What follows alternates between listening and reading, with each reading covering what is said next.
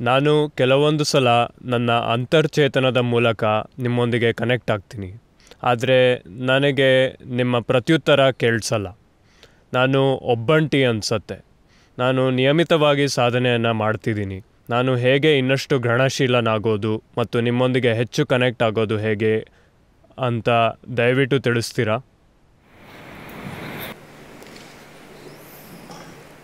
ನಿಮ್ಮ ಅಂತರ್ಚೇತನವನ್ನು ಬಳಸೋದನ್ನ ನಿಲ್ಲಿಸಿ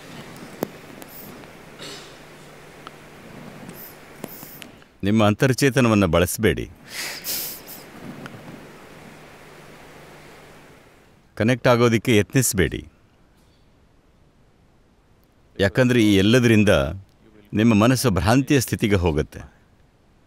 ಆಮೇಲೆ ಸದ್ಗುರು ನಿಮ್ಮ ಜೊತೆ ಮಾತಾಡೋಕ್ಕೆ ಶುರು ಮಾಡ್ತಾರೆ, ಏನೇನೋ ಆಗತ್ತೆ, ಮತ್ತೆ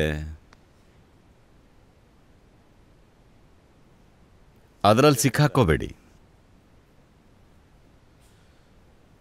ಹಾಗಾದರೆ ನಾನೇನು ಮಾಡಬೇಕು? ನಾನು ಗ್ರಹಣಶೀಲನಾಗಬೇಕಂದ್ರೆ ಏನು ಮಾಡಬೇಕು? ನಿಮ್ಮ ಗ್ರಹಣಶೀಲತೆಯನ್ನು ತಡೆ ಹಿಡಿತಿರೋದು ಏನು?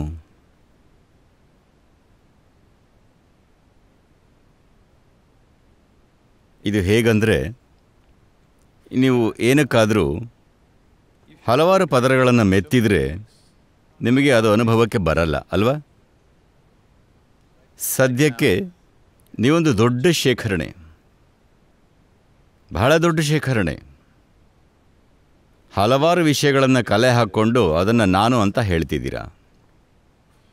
ನಿಮ್ಮ ಭೌತಿಕ ಶರೀರದಿಂದ ಶುರು ಮಾಡಿ. ಕೊನೆ ಪಕ್ಷ ವಿಸ್ತರಿಸಲು ಸಾಕಷ್ಟು ಅವಕಾಶ ಇದ್ದರೂ ಭೌತಿಕ ಶರೀರಕ್ಕೆ ಕೆಲ ಮಿತಿಗಳಿವೆ. ನೀವು ಅದನ್ನು ಹೆಚ್ಚು ವಿಸ್ತರಿಸೋಕ್ಕಾಗಲ್ಲ. ಒಂದು ಮಿತಿಗಿಂತ ಹೆಚ್ಚು ಶೇಖರಿಸೋಕ್ಕಾಗಲ್ಲ. ತುಂಬ ಶೇಖರಿಸಿದರೆ ಬೇಗ ನಿಮ್ಮನ್ನು ಹೊತ್ಕೊಂಡು ಹೋಗೋ ಸಮಯ ಬರುತ್ತೆ. ಹೌದು. ಭೌತಿಕ ಶರೀರಕ್ಕೆ ಒಂದು ಇತಿಮಿತಿ ಇದೆ.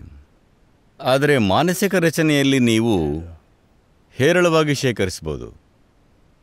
ಇಂಥ ಹೊರೆಯನ್ನು ನಿಮ್ಮ ತಲೆ ಮೇಲೆ ಹೊತ್ತಿದ್ರೆ ನಿಮಗೆ ಬೇರೇನೂ ಅರಿವಿಗೆ ಬರಲ್ಲ. ವಿಶೇಷವಾಗಿ ನೀವು ಹೊತ್ತಿರೋ ಆ ಹೊರೆಯನ್ನು ನೀವು ಅಂತ ನಂಬೋದಕ್ಕೆ ಶುರು ಮಾಡಿದಾಗ. ಈ ನೀವು ಕಮ್ಮಿ ಆಗ್ತಾ ಹೋದ ಹಾಗೆ ನಿಮ್ಮ ಗ್ರಹಣಶೀಲತೆ ಹೆಚ್ಚಾಗತ್ತೆ. ನೀವು ಹೆಚ್ಚಾಗ್ತಾ ಹೋದ ಹಾಗೆ ನಿಮ್ಮ ಗ್ರಹಣಶೀಲತೆ ಕಡಿಮೆ ಆಗತ್ತೆ. ನಿರ್ದಾಕ್ಷಿಣ್ಯವಾಗಿ ಹೇಳಬೇಕಂದ್ರೆ ನೀವು ನಿಮ್ಮಿಂದಲೇ ತುಂಬಿಕೊಂಡಿದ್ದೀರಾ. ಅದನ್ನು ಕಮ್ಮಿ ಮಾಡಿಕೊಂಡ್ರೆ ನಿಮ್ಮ ಅನುಭವಕ್ಕೆ ಹೇಗೆ ಬರಲ್ಲ? ನಿಮಗೆ ಅನುಭವ ಆಗಲೇಬೇಕು. ಯಾವ ಥರದ ಅನುಭವ? ನಿಮ್ಮ ಧ್ವನಿ ಕೇಳಿಸ್ಕೋಬೇಕಾ? ದಯವಿಟ್ಟು ಬೇಡ ನಿಮಗೆ ನನ್ನ ಧ್ವನಿ ಕೇಳಬೇಕಂದ್ರೆ ಸಿ ಡಿನೋ ಏನೋ ಹಾಕ್ಕೊಳ್ಳಿ ನಿಮಗೆ ಧ್ವನಿಗಳು ಕೇಳ್ತಿದ್ರೆ ನಿಮಗೆ ಚಿಕಿತ್ಸೆ ಬೇಕು. ಇದು ಧ್ವನಿ ಕೇಳೋ ಬಗ್ಗೆ ಅಲ್ಲ. ದೀಕ್ಷೆಯ ರೂಪದಲ್ಲಿ ನಿಮ್ಮೊಳಗೆ ಇಟ್ಟಿರೋದು ಒಂದು ಜೀವಂತ ಪ್ರಕ್ರಿಯೆ. ನೀವು ನಿಮ್ಮಿಂದಲೇ ತುಂಬಿಕೊಂಡಿಲ್ಲದೆ ಇದ್ದರೆ ನೀವಿಲ್ಲಿ ಕೂತ್ರೆ ಅದು ನಿಮ್ಮೊಳಗೆ ನಿರಂತರವಾಗಿ ಅನುರಣಿಸುತ್ತೆ. ಯಾವಾಗಲೂ. ಒಮ್ಮೆ ನಿಮ್ಮೊಳಗೆ ಜೀವಂತ ಶಕ್ತಿ ಇದ್ದಾಗ ಅದಕ್ಕೆ ನೀವು ಜಾಗ ಮಾಡಿಕೊಡ್ಬೇಕಷ್ಟೆ. ನೀವು ಜಾಗ ಮಾಡಿಕೊಟ್ರೆ ಅದು ಅನುಭವಕ್ಕೆ ಬಂದೇ ಬರುತ್ತೆ. ನಿಮಗೆ ಸೂರ್ಯನ ಬೆಳಕು ಬೇಕಿದ್ರೆ ನೀವೇನು ದೊಡ್ಡ ಹೋರಾಟ ಮಾಡಬೇಕಿಲ್ಲ, ಕಿಟಕಿನೇ ತೆಗಿಬೇಕಷ್ಟೆ ಅಲ್ವಾ? ಹಾಗಾಗಿ ನಿಮ್ಮನ್ನು ನೀವು ಗಮನಿಸ್ಕೊಳ್ಳಿ. ನೀವು ತುಂಬ ಜಾಂಡ್ರಾಗಿರ್ಬೋದು ತುಂಬ ಶಕ್ತಿವಂತರಾಗಿರಬಹುದು, ತುಂಬ ಸುಂದರವಾಗಿರಬಹುದು, ಅಥವಾ ತುಂಬ ಇನ್ನೇನೋ, ದಯವಿಟ್ಟು ಅದನ್ನ ಕಮ್ಮಿ ಮಾಡಿ. ನಿಮಗೆ ಅನುಭವಕ್ಕೆ ಬರಲಿಕ್ಕೆ ಶುರುವಾಗತ್ತೆ. ಹೌದು. ಅಥವಾ ನೀವು ತುಂಬ ಒಳ್ಳೆಯ ವ್ಯಕ್ತಿ, ದಯವಿಟ್ಟು ಅದನ್ನ ಕಮ್ಮಿ ಮಾಡಿ. ಒಳ್ಳೆಯವರಿಗೆ ಏನು ಅನುಭವಕ್ಕೆ ಬರಲ್ಲ, ಕುರಿಗಳ ಥರ ಆಗ್ಬಿಡ್ತಾರೆ. ಯಾಕಂದರೆ ಯಾವಾಗಲೂ ನಾನು ಒಳ್ಳೆಯವನು ಅಂತ ಯೋಚಿಸ್ತಿರ್ತಾರೆ. ಹೇಗೆ? ಅವನು ಸರಿ ಇಲ್ಲ, ಅವಳು ಸರಿ ಇಲ್ಲ, ಅವ್ರು ಸರಿ ಇಲ್ಲ, ಇವ್ರು ಸರಿ ಇಲ್ಲ, ಇವನು ಸರಿ ಇಲ್ಲ, ಇವರಿಗೆಲ್ಲ ಹೋಲಿಸಿದ್ರೆ ನಾನು ಎಷ್ಟು ಒಳ್ಳೆಯವನು? ನಿಮ್ಮಿಂದಲೇ ತುಂಬಿ ಹೋಗಿದ್ದೀರಾ? They are good. They're too full of themselves. Isn't it so? ತಮ್ಮನ್ನು ಒಳ್ಳೆಯವರು ಅಂದ್ಕೊಳ್ಳೋರು ತಮ್ಮಿಂದಲೇ ತುಂಬ ಹೋಗಿರ್ತಾರೆ ಅದನ್ನ ಕಮ್ಮಿ ಮಾಡಿ. ಅಸ್ತಿತ್ವದಲ್ಲಿ ನಿಮ್ಮ ಸ್ಥಾನವನ್ನು ಅರ್ಥ ಮಾಡಿಕೊಳ್ಳಿ. ನೀವು ಧೂಳಿನ ಕಣತ್ತಾರ. ನಾಳೆ ಬೆಳಗ್ಗೆ ನೀವು ಸಿಡಿದು ಹೋಗ್ಬಿಟ್ರೆ ಬಾಂಬನ್ನು ಅರ್ಥದಲ್ಲಲ್ಲ? ಕ್ಷಮಿಸಿ. ನಾಳೆ ನೀವು ಹಾಗೆ ಕಣ್ಮರೆ ಆಗಿಬಿಟ್ರೆ ಈ ಜಗತ್ತಿನಲ್ಲಿ ಎಲ್ಲನೂ ಚೆನ್ನಾಗೇ ಇರುತ್ತೆ. ಈ ವಿಷಯ ನಿಮಗೆ ಗೊತ್ತಾ? ವಜ್ರಗಳ ಬಗ್ಗೆ ಮಾತಾಡ್ಬೋದಾ? ವಜ್ರ. ನಿಮಗೆ ಗೊತ್ತಾ? ಅಲ್ಟ್ರಾವೈಲೆಟ್ ಬೆಳಕು ವಜ್ರವನ್ನು ಆವಿಯಾಗಿಸುತ್ತೆ. ಇದು ಗೊತ್ತಾ ನಿಮಗೆ? ವಜ್ರಗಳು ಶಾಶ್ವತ. ಕೇಳಿದ್ದೀರಾ? ವಜ್ರಗಳು ಶಾಶ್ವತ ಅಲ್ಲ. ಕೇವಲ ಬೆಳಕು ಅದರ ಮೇಲೆ ಬಿದ್ದರೆ ಆವಿಯಾಗಿ ಹೋಗುತ್ತೆ ಮುಟ್ ನೋಡಿ. ಇನ್ನೂ ಇದೆಯಾ? ಮಾಯ ಆಗೋಯ್ತಾ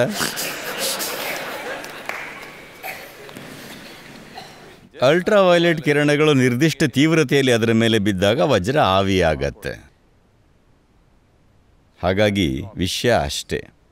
ದೊಡ್ಡ ವಿಷಯ ಏನಲ್ಲ. ನೀವು ಅನ್ನೋದು ಆವಿಯಾಗಿಬಿಡಬಹುದು. ಸರಿಯಾದ ಸ್ತರದ ಅರಿವಿನಿಂದ. ಇದಕ್ಕೆ ದೊಡ್ಡ ಯುದ್ಧ ಮಾಡೋದೇನೂ ಬೇಡ. ಹೋರಾಟ ಎಲ್ಲ ಬೇಕಾಗಿಲ್ಲ. ಹೋರಾಟ ಯಾಕೆ ನಡೀತಿದೆ ಅಂದರೆ ಗಡರಿ ತಗೊಂಡು ಗುದ್ದಾಡ್ತಿದ್ದೀರಾ? ಸುತ್ತಿಗೆಯಿಂದ ವಜ್ರವನ್ನು ಒಡೆಯೋಕೆ ನೋಡಿದರೆ ತುಂಬ ಶ್ರಮ ಬೇಕಾಗತ್ತೆ. ಬೆಳಕು, ಕೇವಲ ಅಲ್ಟ್ರಾವೈಲೆಟ್ ಕಿರಣಗಳು, ಅವನ್ನು ಆವಿ ಮಾಡಿಬಿಡಬಹುದು. ಹಾಗೆ ಗಾಳಿಯಲ್ಲಿ ಮಾಯವಾಗತ್ತೆ.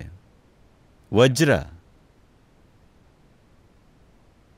ಅದರಿಂದ ಇದು ತುಂಬ ಸರಳ.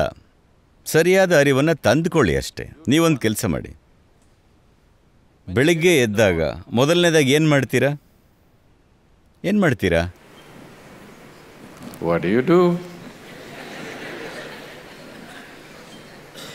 What do you do? The first thing in the morning? Phone. Any messages?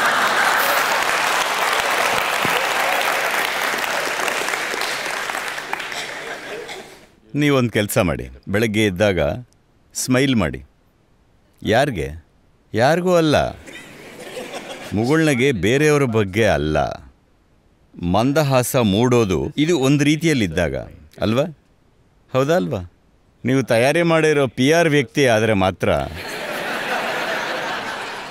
ಅದನ್ನು ಕಲ್ತಿರ್ತೀರ? ಇಲ್ದಿದ್ರೆ ಮಂದಹಾಸ ಮೂಡೋದು ನಿಮ್ಮೊಳಗೆ ಏನೋ ಆಗ್ತಿರೋದ್ರಿಂದ. ಯಾರೋ ನಿಮ್ಮ ಮುಂದೆ ಬಂದರು ಅಂತಲ್ಲ, ಅಲ್ವಾ? ಹಾಗಾಗಿ ಬೆಳಗ್ಗೆ ಎದ್ದ ತಕ್ಷಣ ಒಂದು ಮುಗುಳ್ನಗೆ. ಇಪ್ಪತ್ತು ಸೆಕೆಂಡ್ ತಗೊಳ್ಳುತ್ತೆ ಅಷ್ಟೇ. ಆಯ್ತಾ? ಪಕ್ಕ ಇರೋರನ್ನ ನೋಡಿ ಸ್ಮೈಲ್ ಮಾಡೋಕ್ಕಾಗಲ್ಲ ಅಂದರೆ ಹಾಗೆ ಸ್ಮೈಲ್ ಮಾಡಿ.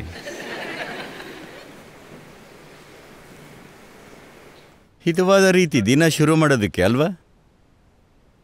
ಮತ್ತೆ ನಿಮಗೆ ದಿನಕ್ಕೆ ಒಂದು ಡೋಸ್ ಸಾಕಾಗದಿದ್ದರೆ ನಿಮಗೆ ದೊಡ್ಡ ಕಾಯಿಲೆ ಇದ್ದರೆ ಪ್ರತಿ ಗಂಟೆಗೂ. ಓ, ಹನ್ನೊಂದಾಯ್ತಾ? ಹನ್ನೊಂದಾಯಿತು. ಗೊತ್ತಾ? ಇಪ್ಪತ್ತೊಂದನೇ ಜುಲೈ ಎರಡು ಸಾವಿರದ ಹನ್ನೊಂದು ಹನ್ನೊಂದು ಗಂಟೆ. How many times has it happened? ಎಷ್ಟು ಸರ್ತಿ ಆಗಿದೆ ಇದು? ಯಾವತ್ತೂ ಇಲ್ಲ. ಮುಂದೆ ಎಷ್ಟು ಸರ್ತಿ ಆಗತ್ತೆ? ಇನ್ಯಾವತ್ತೂ ಇಲ್ಲ. ಅಮೋಘವಾದ ಕ್ಷಣ ಅಲ್ವಾ? ಹನ್ನೊಂದು ಗಂಟೆ. ಹನ್ನೊಂದು ಗಂಟೆ ಸರಳವಾದ ಸಂಗತಿನ ಅಸ್ತಿತ್ವದಲ್ಲಿರೋ ಮಹತ್ವವಾದ ವಿಷಯಗಳನ್ನು ಲಘುವಾಗಿ ತಗೋತಿದ್ದೀರಾ? ಅರ್ಥವಾಯ್ತಾ? ಹನ್ನೊಂದು ಗಂಟೆ ಚಿಕ್ಕ ವಿಷಯನ ಇದು? ಚಿಕ್ಕ ವಿಷಯನ? ಅದ್ಭುತ. ಒಂದೇ ಸರ್ತಿ.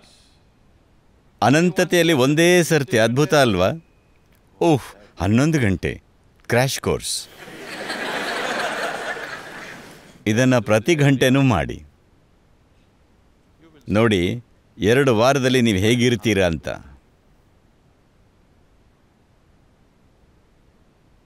ಹ್ಞೂ ಇಪ್ಪತ್ತು ಸೆಕೆಂಡ್. ಕ್ರ್ಯಾಶ್ ಕೋರ್ಸ್ ಕೊಟ್ಕೋಬೋದು ತಾನೆ?